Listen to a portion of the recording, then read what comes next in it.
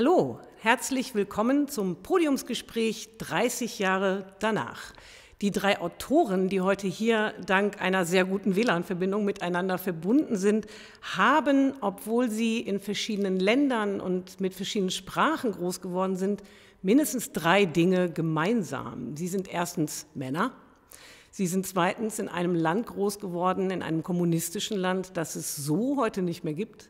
Und sie sind drittens Literaten, und zwar Literaten, die hochpolitisch sind. Nicht nur sie selbst als Person, sondern auch ihre Literatur. Und das ähm, in den Ländern, in denen sie vor allem publizieren, nicht unbedingt nur Applaus hervorruft. Herzlich willkommen, Ariane Leker, Andrei Nikolaidis und Sergei Lebedev. Drei Jahrzehnte sind vergangen seit dem Zerfall der Sowjetunion, dem Ende des Enver Hoxha-Regimes in Albanien und der blutigen Auflösung Jugoslawiens. Für die meisten 30-Jährigen in Deutschland dürften die Namen Tito, Enver Hoxha oder Stalin erklärungsbedürftig sein und die sozialistischen Experimente dieser drei Staatsoberhäupter nicht minder. In der Regel kommen diese Regionen in hiesigen Nachrichten, Nachrichten Entschuldigung, auch nur dann vor, wenn wieder irgendwo Mord und Totschlag passiert ist. Dabei haben die Entwicklungen in diesen Regionen durchaus Auswirkungen auf die Gesellschaften im Rest Europas. Das Bild in diesem Westen ist aber immer noch eines, dass die im Osten die anderen das andere sind. Also Gesellschaften, die hintendran und noch viel nachholen müssen. 1997 legte die bulgarische Historikerin Maria Todorova ihr Buch Die Erfindung des Balkans, Europas bequemes Vorurteil vor. Bis heute genießt das Werk zwar sehr hohes Ansehen, wird von denen, die sich mit der Region beschäftigen, oft zitiert. In Deutschland ist es im Übrigen seinerzeit in einem sehr kleinen Verlag erschienen. Das Interesse war also auch schon damals in den frühen 90er Jahren nicht größer, als es jetzt ist. Wir wollen heute mit diesem Podium versuchen, vielleicht so eine Art Update von diesem Buch zu machen. Ähm, die Fragen zu diskutieren, was ist in diesen Regionen seitdem eigentlich passiert? Welche Folgen haben die kommunistischen Experimente bis heute auf die Gesellschaften? Wie hat sich der Blick, wie hat sich das Verhältnis zwischen den politisch mächtigen Zentren des heutigen Europas zu den an ihrer Peripherie liegenden Menschen verändert? Ich muss vorab schicken, dass ich seit Jahren immer wieder auf den Umstand verweise, dass man, wenn man in einem fernen Land was hören möchte, weil da gerade was Schlimmes passiert, immer gern Schriftsteller befragt. Warum eigentlich? Man erhofft sich von ihnen die Wahrheit, die einem Politiker oder andere Teilnehmer dieser Gesellschaft irgendwie nicht so richtig geben können, glaubt man zumindest. Warum ist das eigentlich so? Wo doch Autoren bekanntlich eben nicht die Wahrheit sagen, sondern Geschichten erfinden. Wir wollen also auch der Frage nachgehen, welche Rolle die Literatur in diesen Regionen spielt, um die es geht und gespielt hat. Ich darf Ihnen jetzt die drei Autoren kurz vorstellen. Arian Leka, 1966 in Durres in Albanien geboren. Er hat also den real existierenden, zumindest albanischen bzw. enver hodgerianischen Weg des Kommunismus selbst doch ziemlich lange noch erlebt. Ähm, er hat seine Jugend in dieser Zeit verbracht. Er ist Schriftsteller, er ist Dichter, er ist Essayist, er ist Autor wissenschaftlicher Aufsätze, er ist promovierter Albanologe. Das Thema seiner Doktorarbeit ist auch das einer Monographie, die er veröffentlicht hat über die verborgene avantgardistische Literatur, den Modernismus in Albanien. In der Albanischen Akademie für albanologische Studien arbeitet er als Wissenschaftler und an der Universität der Künste in Tirana ist er Dozent. Er wurde vom albanischen Kulturministerium mit etlichen Preisen ausgezeichnet, auch von anderen. Er wurde in verschiedene Sprachen übersetzt. Seine Erzählungen erschienen in internationalen Anthologien und Zeitschriften. Und außerdem hat er diverse literarische Programme und Literaturfestivals gegründet. Nebenbei ist er auch noch klassisch ausgebildeter Flötist und Übersetzer aus dem Italienischen. Auf Deutsch ist von ihm der Essay Enver und sein Paradies 2015 beim Antea Verlag erschienen übersetzt von Loreta Schillock. Er beschäftigt sich darin mit dem Verhältnis zwischen dem Balkan und Europa. Herzlich willkommen, Arian Leka. Andrei Nikolaidis ist in Sarajevo 1974 geboren, 1992 mit seiner Familie nach Montenegro emigriert, woher der Vater stammt. Er wurde bekannt als scharfer Kommentator politischer Entwicklungen, als Schriftsteller, als Kolumnist, Essayist und politischer Berater, der er von 2009 bis 2014 in Montenegro war, und zwar Berater des Sprechers des montenegrinischen Parlaments. Seine Erzählung gewann den Europäischen Literaturpreis und den Mescha Selimovic-Preis in Bosnien und wahrscheinlich noch viele andere. Seine Romane sind in zahlreichen Sprachen übersetzt. Auf Deutsch ist Der Sohn, die Ankunft und Der ungarische Satz erhältlich. Alle erschienen im Verlag Wohlan und Quist in der Übersetzung von Margit Jugo. Er beschäftigt sich mit unter anderem mit den Flüchtlingsbewegungen als kontinentales Ereignis oder auch mit dem einfachen Leben auf dem Balkan, das ganz einfach immer in Beziehung zu dem im restlichen Europa steht. Herzlich willkommen, Andrei Nikolaidis. Sergei Lebedev ist 1980 in Moskau geboren. Er ist Journalist, er ist Autor, er ist aber auch Dichter und Essayist. Er hat ursprünglich Geologie und Journalismus studiert. Seine Romane sind in viele Sprachen übersetzt worden. Der Himmel auf ihren Schultern, Kronoskinder oder auch Menschen im August sind auf Deutsch alle im S. Fischer Verlag erschienen und übersetzt von Franziska Zwerg. Auch er hat diverse Preise und Stipendien bekommen, ähm, meistens davon nicht in Russland. Er lebt immer wieder auch in Deutschland. Ähm, auch zurzeit ist er nicht in Russland. Wir sehen ihn zumindest jetzt gerade nicht in Russland. Ähm, noch ein Wort zu, zu seinem Roman insgesamt, denn ähm, das ist sehr auffällig, weil sein Gegenstand in allen seinen Romanen ist eigentlich immer, zumindest auf der Oberfläche, die sowjetische Vergangenheit und mit dieser Vergangenheit natürlich immer vordringend in die Gegenwart. Herzlich willkommen, Sergei Lebedev. Herr Lebedev, ich stelle Ihnen die erste Frage. Ähm, ich habe es schon angedeutet, Sie haben als junger Mann, äh, als Jugendlicher fast äh, es Ihren Eltern gleichgetan, die nämlich Geologen sind oder waren und haben auch im Boden rumgegraben und dabei sind Sie auf Geschichte gestoßen. Und diese Schichten, die sie im Boden gefunden haben, legen sie seitdem in ihren Geschichten, in ihren Romanen frei. Sie betreiben sowas wie literarische Archäologie. Auf was sind Sie denn da gestoßen als erstes, was Sie dazu veranlasst hat, darüber einen Roman zu schreiben? Как геолог я провел 8 лет ich habe als Geologe acht Jahre im hohen Norden Russlands verbracht. Ich sah die Straflager, vielmehr das, was von ihnen übrig geblieben ist, was aus dem menschlichen Gedächtnis praktisch hinausgeschmissen worden ist. Und warum ist es Ihnen so wichtig, dieses Thema nochmal zu bearbeiten, diese, wie Sie ja beschreiben, zugeschütteten Schichten? Und vielleicht auch noch die nachgeschobene Frage, wer vergisst denn? Also es ist ja so, dass die Geschichte des Gulag, der große Name Alexander Solzhenitsyn würde einem da einfallen, ähm, ja durchaus beschrieben hat, äh, die Weltöffentlichkeit damals äh, zur Kenntnis genommen hat, dass es dieses Gulag-System gab. Was ist Ihre Motivation, mh, jetzt sozusagen die einfach sehr lang zurückliegenden Schichten doch nochmal auszugraben? Worum geht es Ihnen dabei? Вы знаете, äh Wissen Sie, die ganz große russische Lagerliteratur endete im Grunde damit, dass der Mensch aus dem Lager kommt und es hinter sich lässt. Mich jedoch interessierte, was danach geschieht, wie er weiterlebt und wie diese Lagererfahrungen den nachfolgenden Generationen weitergegeben werden, bis in die heutige Zeit. Ähm, können Sie das ein wenig konkretisieren? Ähm, welche Auswirkungen hat denn der, der Stalinismus, hat die, die, das Gulag-System und das Vergessen äh, dieses Systems auf die heutige russische Gesellschaft? Ich denke, dass dieser Einfluss vor allem nicht mit dem Gulag-System als solchem zusammenhängt, sondern mit dem, was nach ihm geschah, mit der absoluten Straflosigkeit der stalinschen und sowjetischen Verbrechen insgesamt сталинских и советских преступлений в целом. Denn in Russland ist eine seltsame Sache geschehen. Wir haben Millionen Opfer, die auch offiziell als solche anerkannt wurden, aber nur eine vage Vorstellung davon, welches Verbrechen diesen Menschen gegenüber eigentlich begangen worden ist. Какое же преступление было совершено в отношении этих жертв? Это преступление называется фактически нейтрально. Dieses Verbrechen wird de facto neutral bezeichnet, Repressionen. Und am Ende haben wir keinerlei Verbrecher. Paraphrasiert man Dostoevsky, so könnte man sagen, wir haben Verbrechen ohne Strafe. Und übrigens auch ohne Verbrecher.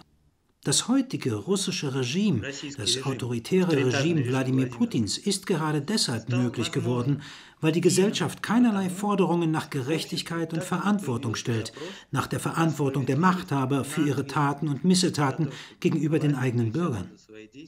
Erinnern wir uns, dass zur Zeit des Krieges in Jugoslawien auch in Russland ein Krieg in Tschetschenien geführt wurde. Doch wenn für Verbrechen während der Kriege in Jugoslawien immerhin einige Personen zur Verantwortung gezogen wurden, so hat für den Tschetschenienkrieg niemand Verantwortung tragen müssen. Schlimmer noch, nicht einmal die russische Opposition stellt diese moralische, sittliche Frage. даже российская оппозиция не ставит это как нравственный и моральный вопрос. Eine Nachfrage dazu. Machen Sie dafür dann auch die europäische, die internationale Öffentlichkeit verantwortlich oder sehen Sie die auch in der Verantwortung, etwas zu tun? Im Falle Jugoslawiens zum Beispiel äh, gab es ja lange bevor in den Ländern selbst äh, Gericht gehalten worden ist zu Kriegsverbrechen, gab es das internationale Tribunal. Hätten, wäre sowas notwendig gewesen, auch im Falle äh, der Kriege, die Russland geführt hat, zu machen? Если мы говорим о 90-х годах, wenn wir von den 90er Jahren, von Tschetschenienkriegen sprechen, die zeitlich mit dem Zerfall Jugoslawiens zusammenfallen, so hat es gewiss eine internationale Verantwortung gegeben, ohne Frage. Man hat jedoch Jelzin viel zu viel durchgehen lassen. Man verzieh ihm die nicht vollzogene Loslösung vom Kommunismus. Man verzieh ihm die Kriegsverbrechen der russischen Armee in Tschetschenien. Man verzieh ihm die unterlassene Reform der Staatssicherheit, weil man meinte, Russland befände sich bereits auf dem Wege der demokratischen Entwicklung und man sollte ihm nicht allzu viel abverlangen. Как бы имея в виду, что Россия уже находится на демократическом пути развития, и не надо с нее требовать слишком многого. Doch es stellte sich heraus, dass dieser Weg nicht zur Demokratie führte.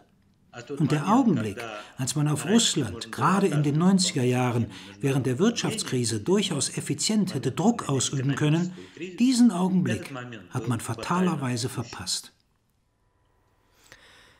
Sie haben äh, ja auch Spuren Ihrer eigenen Familie gefunden, während Sie da so gegraben haben in den Schichten. Ähm, ist denn tatsächlich auch innerhalb der Familien das Schweigen über die eigene Verstrickung in die Verbrechen immer noch so groß wie, sagen wir mal, vor dem Zusammenbruch der Sowjetunion? Я думаю, что эта ситуация остается примерно такой же. Ich denke, die Situation ist ungefähr dieselbe geblieben. Denn in den 30 Jahren seiner Existenz hat Russland eine Menge neuer Verbrechen begangen, die mit der sowjetischen Epoche direkt nicht zusammenhängen. Aber diese Verbrechen werden nicht diskutiert. Weder in der Gesellschaft noch in der Presse und schon gar nicht von allen. Und dieses Schweigen, diese Verantwortungslosigkeit bestehen unvermindert weiter.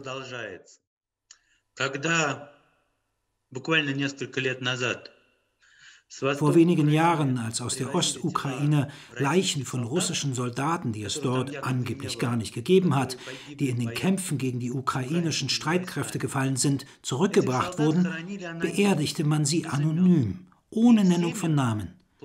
Ihren Familien wurde Schweigegeld gezahlt, damit sie nicht weiter erzählten, wo ihre Angehörigen den Tod gefunden hatten. Das Entsetzlichste auch das Spannendste war, dass die Familien es akzeptierten.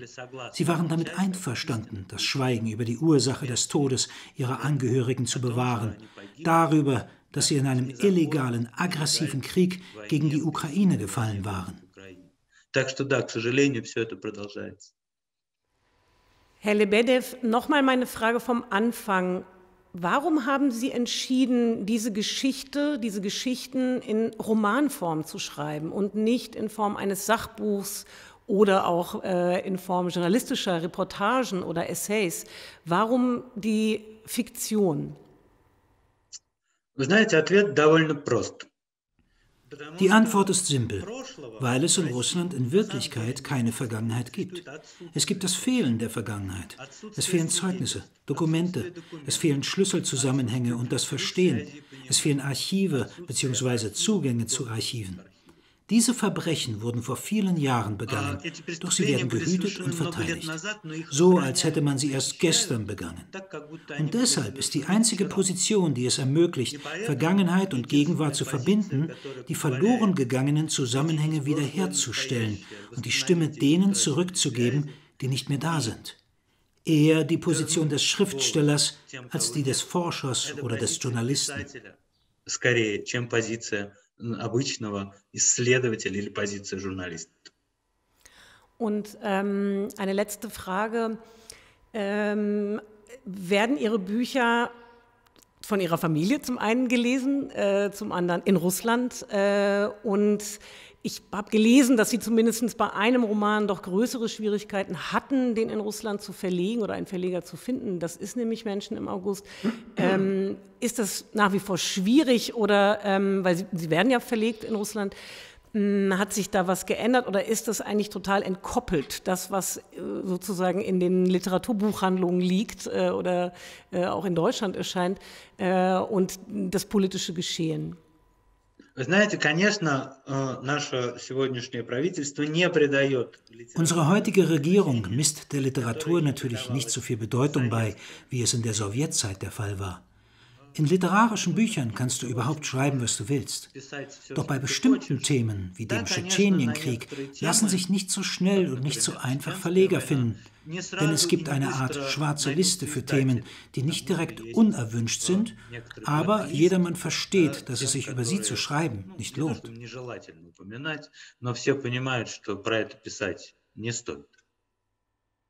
Außerdem muss man natürlich wissen, dass sämtliche Großmedien, wichtigste Zeitungen und Fernsehkanäle auf diese oder jene Art und Weise meist direkt vom Staat kontrolliert werden. Ist man also ein unabhängiger Schriftsteller mit eigener Sicht auf die Dinge, wird man es schwer haben, die Leserschaft zu erreichen, die Menschen einfach darüber zu informieren, dass es einen gibt, dass man irgendwelche Bücher schreibt dass sie sehen und fühlen, wie weit sich die russische Literatur von der harten und grausamen Wirklichkeit entfernt hat, in der sie leben. Für sie sind Texte, die die Wirklichkeit in die Literatur zurückholen, von großer Wichtigkeit.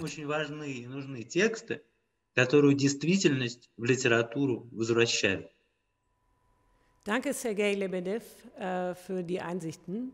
Ähm, Herr Leker, Mm, Sergei Lebedev hat ja gerade gesagt, dass das, was ihn interessiert, die Verbindung zwischen der Vergangenheit und der Gegenwart ist. Ich möchte mal ein Beispiel nennen, ein also total aktuelles Beispiel, äh, in dem man die Verbindung zwischen Gegenwart und Vergangenheit oder andersrum ganz gut sehen kann, dass die immer noch auch auf dem Balkan extrem präsent ist. Und zwar ich weiß nicht, ob Sie das mitbekommen haben, ähm, aber vor einigen Tagen ist der sehr berühmte Sänger und Poet George Balaschewitsch äh, aus Novi Sad gestorben.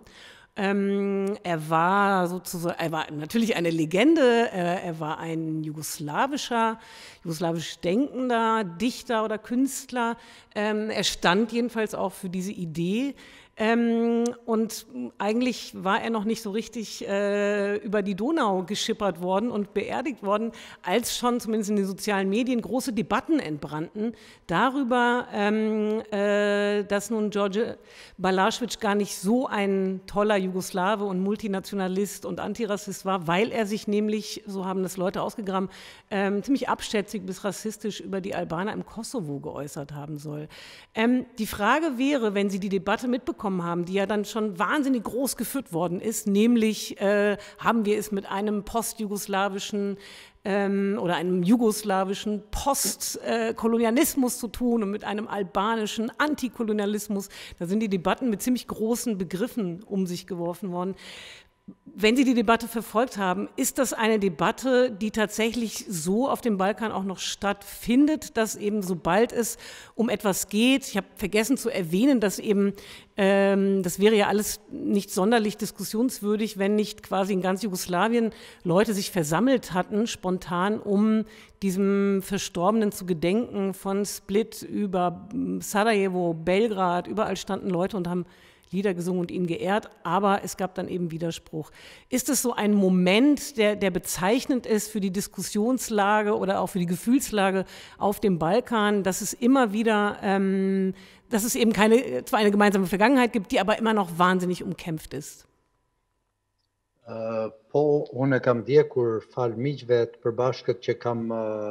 Ja, dank meiner Freunde im ehemaligen jugoslawischen Raum, heute aufgeteilt in mehreren Nationalstaaten, habe ich die Debatte um Balaschewitsch nach seinem Tod verfolgen können.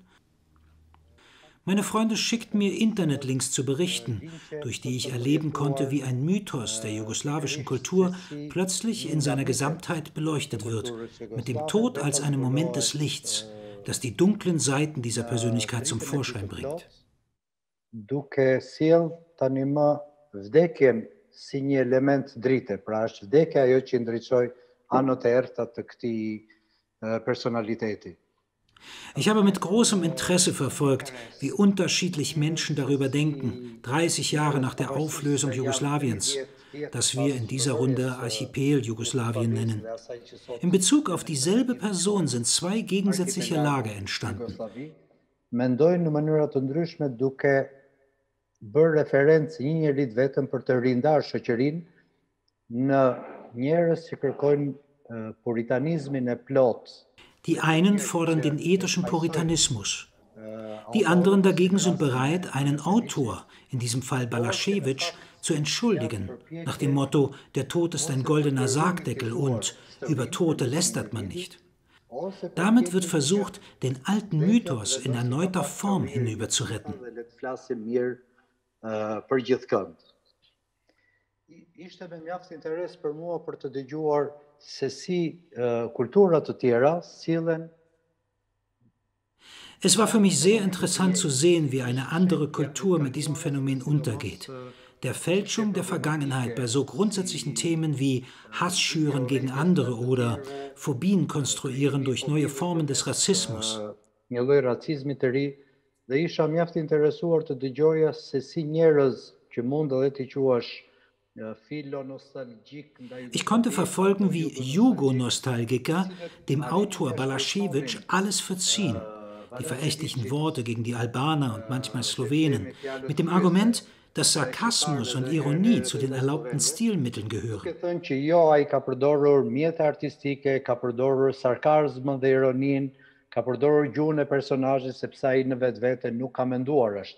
Oder dass diese Äußerungen, die er seinen Charakteren in den Mund legte, nicht seinen eigenen Überzeugungen entsprachen.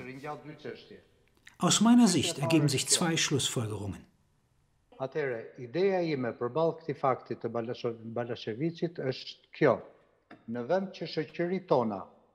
Meine Haltung gegenüber diesem Phänomen lautet, unsere postdiktatorischen, posttraumatischen Gesellschaften in dieser Transitionsphase sollten der Hasssprache eine Zwangsjacke überziehen, wie man das mit Geisteskranken macht. Stattdessen wird nur ein Airbag eingebaut, um den Aufprall abzumildern. Ich meine, dass egal wie groß der Name ist, egal wie groß das Verdienst zur Volkserziehung in Sachen Kunst, Kultur und Humanismus ist, müssen wir jede Persönlichkeit im Lichte der Wahrheit und der Fakten betrachten me cilën ai mund të na ketë edukuar me art, me kulturë apo me vlera të tjera humane. Ne duhet i shohim të gjitha faktet në dritën e së vërtetës. Das sind ja wahnsinnig schöne Bilder. Aber was genau ist denn, wie könnte denn so ein Airbag aussehen? Was wäre denn der Airbag? Pra, äh, ideja që unë përfaqësova me me anën e dy Ich möchte meine Ausführung mit den zwei Metaphern mit Verlaub abschließen. Ich erkenne, dass unsere Gesellschaften, die seit 30 Jahren bestrebt sind, Mythen und Kulte einzureißen, es gerade mit einer Neuauflage des alten Mythos zu tun bekommen. Das ist eine Herausforderung. Sie stehen vor dem Dilemma, sich auch diese vorzunehmen oder sie wie ein Kulturdenkmal zu behandeln, zu bewahren und zu beschützen. Eigentlich betrifft diese Herausforderung nicht den Mythos selbst. Balaschewitsch würde so oder so nichts verlieren. Aber für unsere Gesellschaften ist das ein Indiz, dass es mit der Demokratie nicht sehr weit her ist, dass sie nicht so weit sind, der Wahrheit ins Gesicht zu blicken, egal wie groß die Persönlichkeit ist, um die es geht. Um die zwei Metaphern mit der Zwangsjacke und dem Airbag etwas näher zu erläutern, Diejenigen, die die absolute Wahrheit und Gerechtigkeit suchen, wollen den Mythos mit seiner Hasssprache entwaffnen. während die anderen versuchen, dem Mythos, der über die Kunst bis zu uns gereist ist, leider eine häufige Erscheinung von Russland bis Jugoslawien, die Kunst als Propagandamittel zu missbrauchen, den Tod zu ersparen oder zu verlangsamen, indem sie zwischen Mythos und Realität einen Airbag einbauen.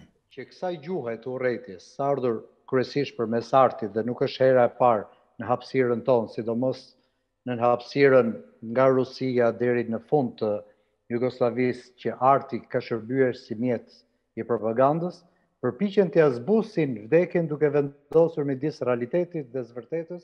Als würde dem Autor Balaschewitsch sein menschliches, reales Leben nicht reichen, in welchem er auch unter Benutzung von Hasssprache seine literarischen Leistungen erbrachte, wird für ihn gerade ein zweites Leben durch die Airbag-Methode vorbereitet, diesmal ein ewiges.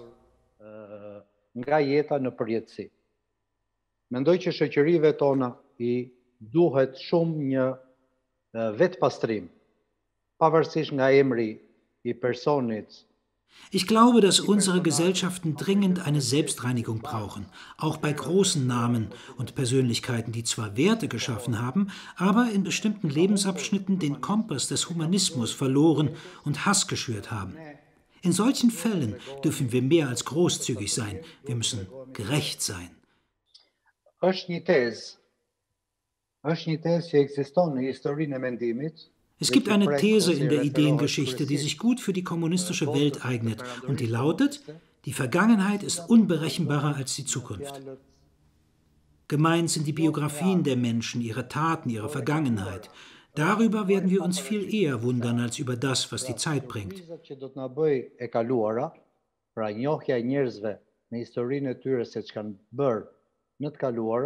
do të ne befasoj më shumë se sa e ardhme e befason njeriu. Für Albanien bleibt das Thema der ethischen Bewertung der Vergangenheit, vor allem der Geschehnisse während des kommunistischen Regimes, bis heute, 30 Jahre nach dem Sturz der Enver Hoxha-Statue, präsent, wenn auch nicht in ausreichendem Maße.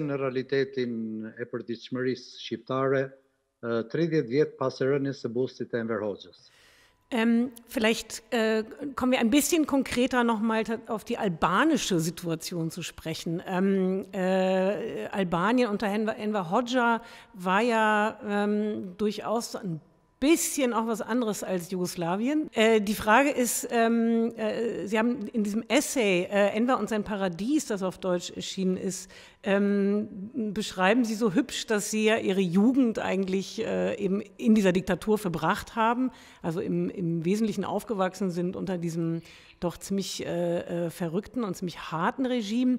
Ähm, und dann aber ja quasi die Öffnung erlebt haben, eine große Euphorie, die dann auch stattgefunden hat.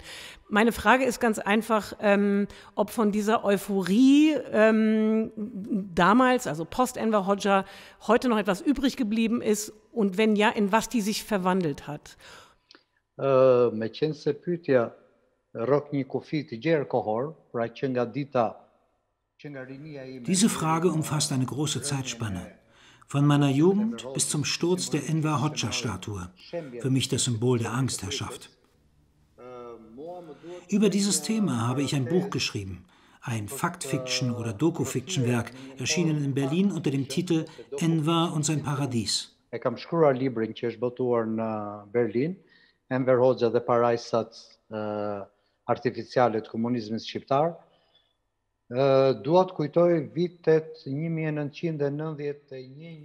Anfang der 90er Jahre war ich ein junger Mann, Mitte 20, lebte noch bei meinen Eltern in Dures, ohne familiäre Pflichten und mit viel Zeit für Beobachtungen.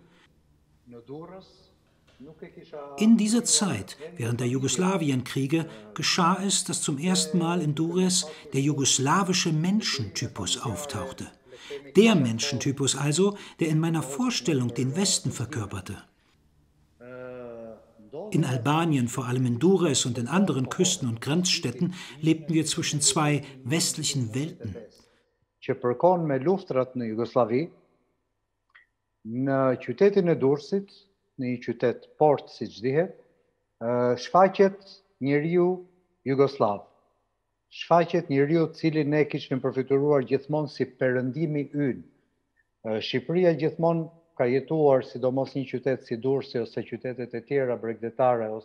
Einerseits der westliche Westen, der gemäß der geografischen Richtung Italien entsprach, andererseits der Alternative, der andere Westen.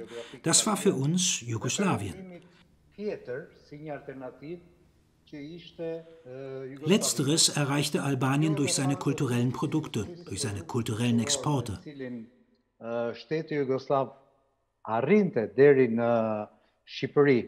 përmes përmes eksportimit po, të produktit kulturor.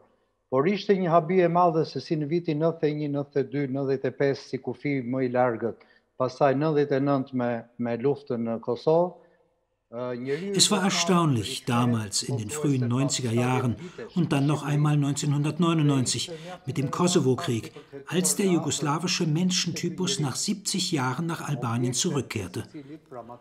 Für mich ein äußerst interessantes Beobachtungsobjekt dieser Mensch, dessen materielle Produkte wir kannten, alltägliche Gegenstände wie der Kühlschrank der Marke Obodin, TV-Programme oder Musiksendungen, nur ihn selbst nicht.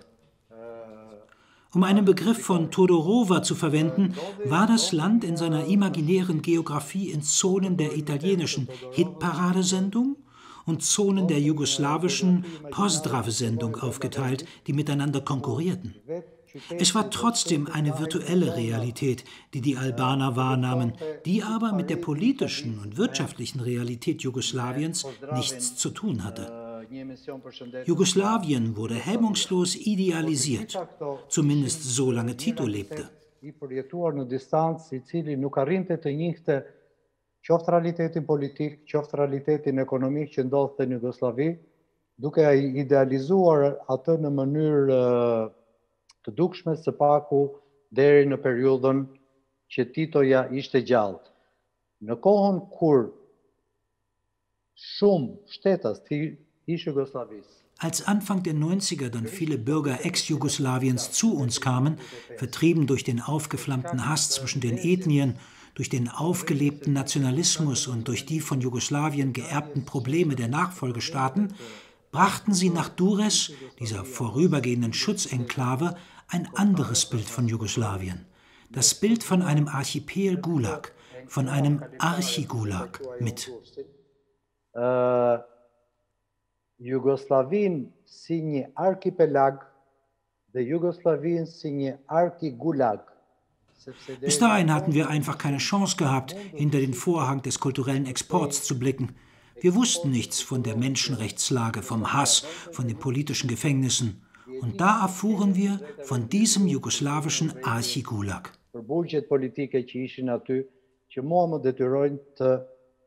Ta kaloj termin nga archipelag në archigulag. Danke, Herr Leker, für, für diesen Einblick. Äh, und ich glaube, das ist auch eine ganz gute Überleitung zu Andrei Nikolaidis. Ähm, könnten Sie damit was anfangen? Würden Sie auch äh, nicht Archipel Jugoslawien sagen, sondern Archigulag als Bezeichnung für Jugoslawien, das ehemalige? Moguće iz perspektive su rođeni u Möglicherweise aus der Perspektive der Menschen, die in der Emigration geboren sind, als politische Emigranten, also möglicherweise aus der Perspektive der Kinder jener Menschen, die Jugoslawien verlassen haben, weil ihre Eltern auf der Seite der Kollaborateure des faschistischen Nazi-Deutschlands standen. Das ist möglich, auch aus der Perspektive von liberalen Intellektuellen, wie etwa der große serbisch-jugoslawische Schriftsteller Borislav Pekic einer war, der sein ganzes Leben in London in der Emigration verbracht hat. Aber ganz sicher nicht aus der Perspektive der Mehrheit der Bevölkerung Jugoslawiens. Davon zeugt die omnipräsente Nostalgie, die es im Raum des ehemaligen Jugoslawiens gibt. Eine Nostalgie nach der sogenannten Tito-Zeit koja postoji u Jugoslaviji za takozvanim Titovim vremenom. Ljudi, kao što znamo, nemaju potrebu osjećati nostalgiju za Gulag. Wie wir wissen, verspüren die Menschen kein Bedürfnis, im Hinblick auf einen Gulag nostalgisch zu sein. In der Tat, das Tito-Jugoslawien hatte tausend und einen Fehler. Es ist ganz klar, dass es in diesem Staat keine politischen Freiheiten gab, die in westlichen Demokratien selbstverständlich sind.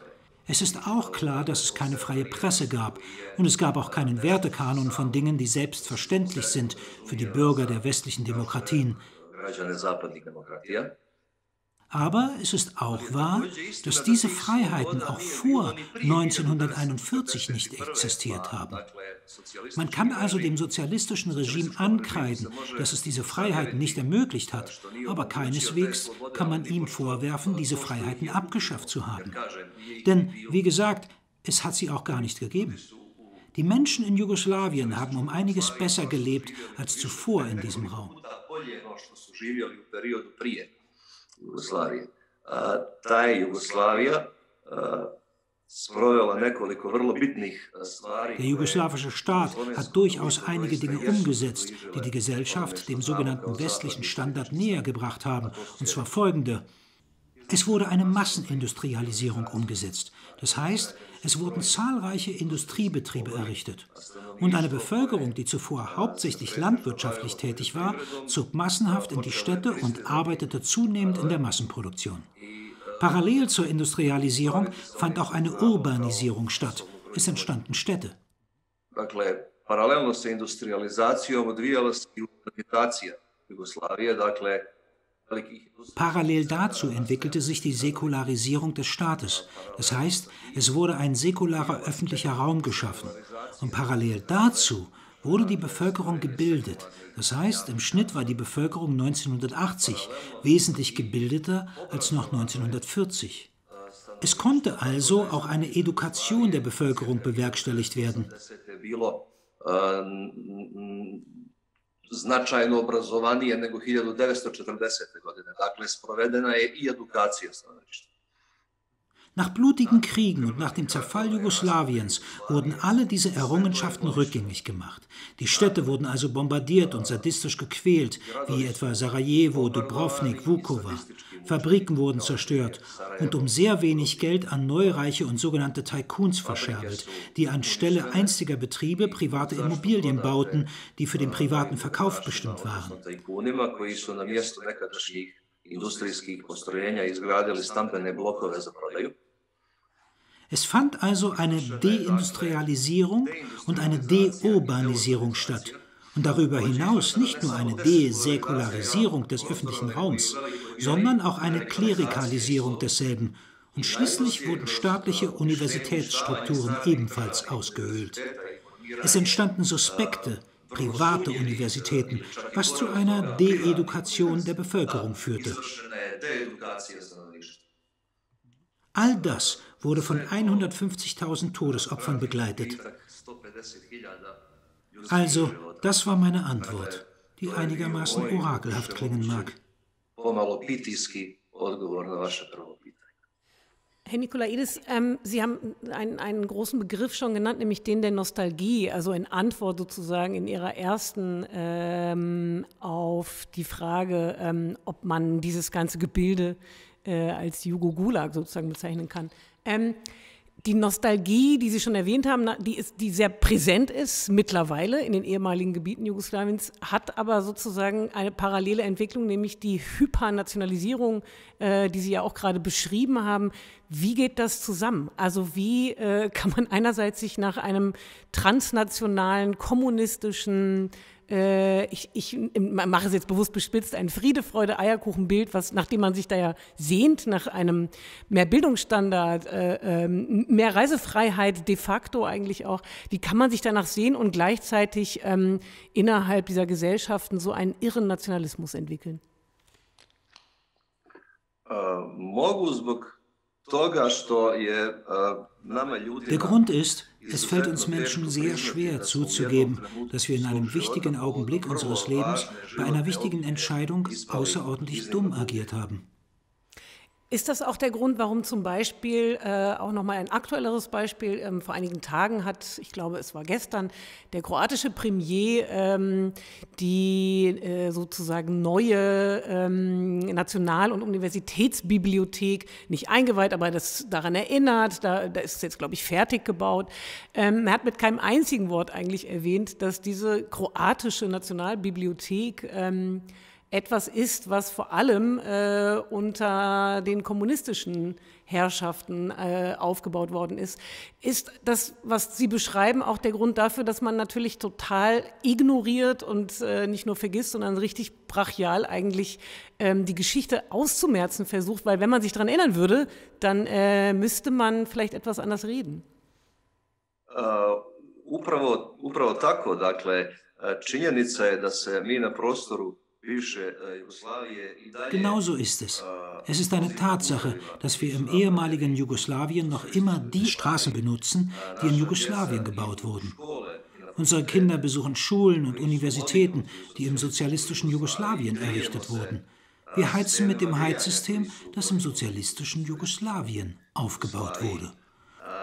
Und offen gestanden, diese postkommunistischen Eliten, die in allen Ländern des ehemaligen Jugoslawiens an die Macht gekommen sind, haben mehr oder weniger nichts getan, außer all das, was unsere Vorfahren im sozialistischen Jugoslawien gebaut haben, unter Anführungszeichen zu privatisieren, aber eigentlich zu verkaufen.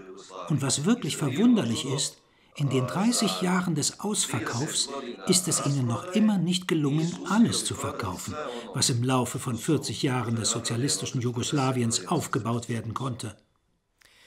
Vielleicht noch mal äh, gegen Ende ein Wort zur Sprache. Die Sprache im ehemaligen Jugoslawien war sich ja in, sagen wir mal, die Mehrheit der Leute hat sich sehr gut verstanden und tut es noch heute. Ähm, man nannte es Serbokroatisch. Äh, viel wurde nach 91 in den äh, Ländern dafür getan, dass diese Sprache ähm, ausgelöscht wird. Man hat versucht, eigene Nationalsprachen zu kreieren. Soweit mir bekannt ist, ist das aber nicht gelungen. Ist die, der Widerstand, den diese Sprache sozusagen äh, dort gegen eine Nationalisierung, also könnte man das überhaupt so nennen, ja? gibt es sozusagen, kann man an der Sprache sehen, ähm, dass sich dass das eigentlich nicht funktioniert, dieses äh, Gebiet des ehemaligen Jugoslawiens auseinander zu dividieren. Äh, Sie haben absolut recht. Es ist nicht zu leugnen, dass wir eine Sprache sprechen, die in diesem historischen Moment vier Namen trägt. Ich denke, das ist eine adäquate Lösung angesichts des politischen Kontexts. Ich denke nicht, dass es eine akzeptable Variante sprachlicher Gewalt geben kann. Und es hat sich herausgestellt, sie ist es in der Praxis auch nicht.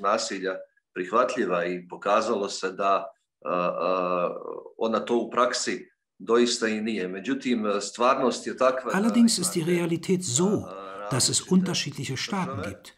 Es gibt eine Kriegsvergangenheit. Und ich denke, angesichts dieser politisch-historischen Situation ist das, was wir heute als Lösung haben, nämlich eine Sprache mit vier Namen, ganz und gar funktional.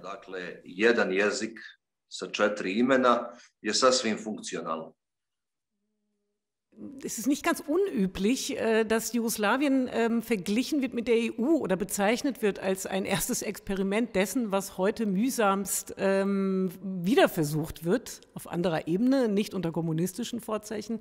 Wenn man das so sieht, und ich weiß nicht, ob Sie das so sehen oder in, auf welcher Ebene man das so sehen könnte, ähm, welche Rolle oder was für ein Signal äh, ist das dann, wenn Großbritannien jetzt, wie es getan hat, ausgetreten ist, ist das der Beginn des Zerfalls der EU, so wie mit dem Austritt Sloweniens ähm, das jugoslawische Gebilde auch ziemlich eigentlich sofort in sich zusammengefallen ist. Äh, Natürlich verstehe ich diese Parallele. Sie ist offensichtlich. Allerdings ist die Analogie nicht vollständig. Zum einen und zum anderen handelt es sich dabei um keinen logischen Beweis. Als Prototyp für die heutige Europäische Union könnte auch Österreich-Ungarn herhalten.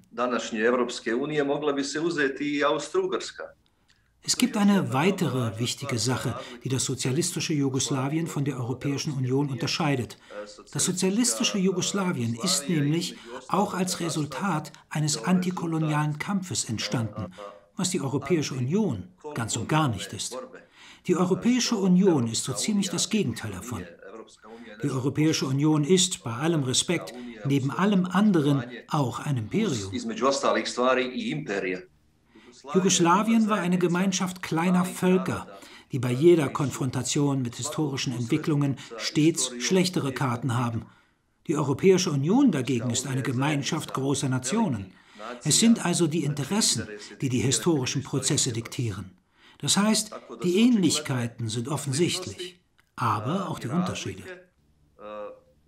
Ich kann nur sagen, ich wünsche der Europäischen Union niemals so ein Ende zu erleben, wie das Ende, welches das sozialistische Jugoslawien erlebt hat. Die Frage, die sich mir immer wieder stellt, ähm, äh, wenn man auf Jugoslawien guckt, äh, auch in den Staaten, die mal Jugoslawien waren, wollen alle ausnahmslos in die EU. Auch das Land, in dem Sie leben, Montenegro, würde nichts lieber tun, als am liebsten morgen äh, da reingehen. Ist es eigentlich, also natürlich, es soll jeder dahin, wo er hin will.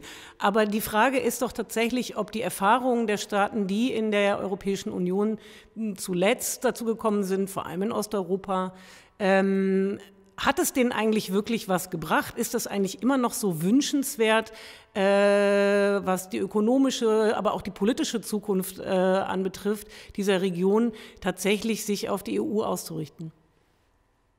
Uh, apsolutno da. Uh, zato što pravo govoreći uh, političke i intelektualne Absolut, ja. Offen gestanden, die politischen und intellektuellen Eliten der Länder in der Region haben derzeit kein anderes Szenario für ein Happy End anzubieten, außer einen EU-Beitritt.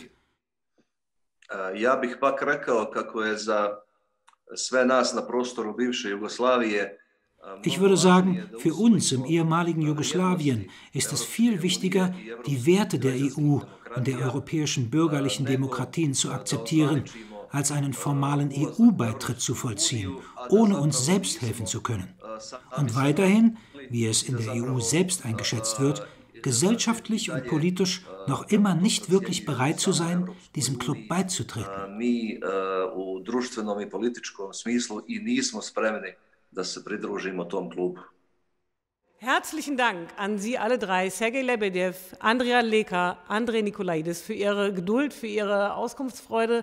Ähm, und an die Zuschauer natürlich, äh, besorgen Sie sich die Bücher dieser drei Autoren. Es gibt natürlich viele, viele, viele, aber diese drei sind es auf jeden Fall wert und verfolgen Sie Ihr weiteres Tun. Herzlichen Dank an Sie drei.